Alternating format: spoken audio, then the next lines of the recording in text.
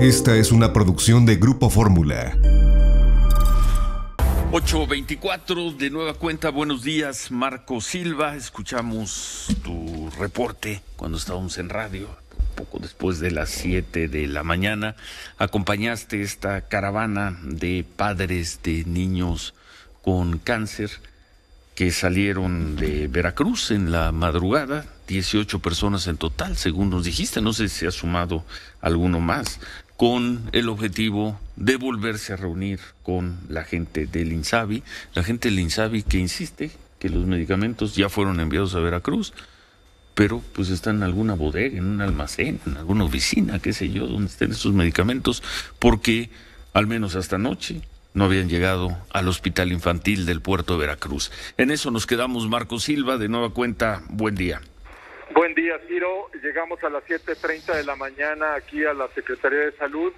Y ahora pues los papás salieron ya de la camioneta que los trajo desde el puerto aquí a la Ciudad de México, pues están saliendo a desayunar, pasan al baño, algunos están justo en este momento frente a la reja de la Secretaría, un poco en la curiosidad, porque algunos, como te decía, son primerizos, en la curiosidad del lugar en donde se tendrían que reunir con autoridades del INSABI.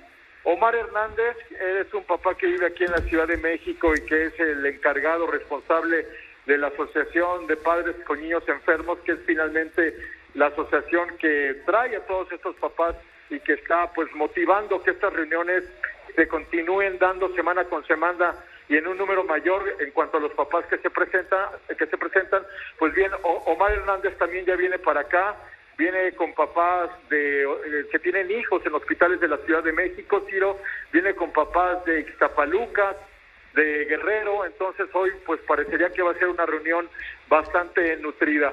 También me dice Omar Hernández hace un rato que pues ellos esperan un buen nivel de interlocución, que ojalá puedan regresar a, los encuentros con el director del INSABI, Juan Ferrer, que aunque es importante hablar con sus coordinadores de abasto y sus coordinadores de distribución, pues solamente el director del INSABI es el que toma las decisiones. Hablamos hace un rato con Cora de Jesús Rodríguez, mamá que viene del puerto de Veracruz, y la pregunta es esta, y muy clara, muy sencilla. De ocho compromisos que se firmaron el miércoles pasado, ¿cuántos cumplió el INSABI? Esto fue lo que nos contesta, Ciro. Ocho acuerdos de la semana pasada, ¿cuántos siete días después se cumplieron?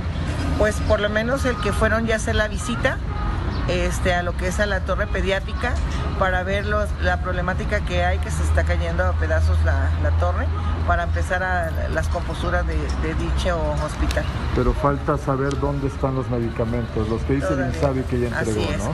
Queríamos saber dónde están este, y pues con seguridad que nos muestren si en realidad están llegando y qué está pasando. Y si no, pues que les hagan una auditoría en Veracruz, en el Hospital de Alta Especialidad, el regional, para saber qué está pasando, si hay corrupción dentro de nuestro hospital. Pues lo dicho, Ciro, si dice el gobierno federal que ya se los entregó al gobierno local, pero no se ven en los hospitales, pues dicen los papás, lo lógico es que alguien se los esté robando. Aquí están ya, llegaron temprano, me confirman efectivamente que ellos prefieren llegar con varias horas de anticipación antes de llegar tarde o perderse de la reunión y pues ya los podemos ver ahorita en la, justo en las rejas de la Secretaría de Salud aquí en la calle de Lieja, al pie de la Estela de Lúcido. Bueno, regresamos antes de que acabe el programa contigo, Marco. Gracias, Marco Silva. Gracias, Ciro. Gracias, Miriam. Buen día. Esta fue una producción de Grupo Fórmula.